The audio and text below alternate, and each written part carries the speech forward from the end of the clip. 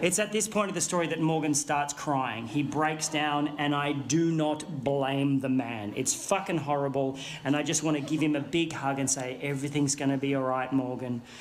But I am holding the full weight of a bookshelf halfway down a set of stairs, and Morgan is the only thing stopping that bookshelf from caving my face in. I was like, Morgan! And Morgan managed to pull himself together for about eight seconds and then just went bah and let the bookshelf go. I fell backwards. It literally rolled over me and took out the light hanging above the staircase. I'm now lying on my back getting showered in broken glass as the bookshelf turned end over end and just went thunk right through a freshly painted wall at the bottom of the stairs. I'm like, oh.